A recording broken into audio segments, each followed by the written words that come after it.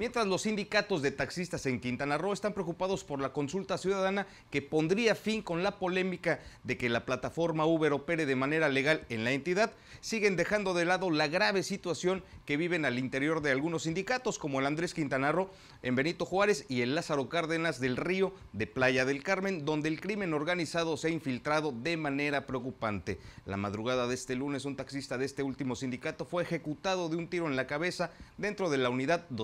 258. El taxi estaba abandonado a la altura del puente Flor de Ciruelo sobre la carretera Playa del Carmen, El Tintal.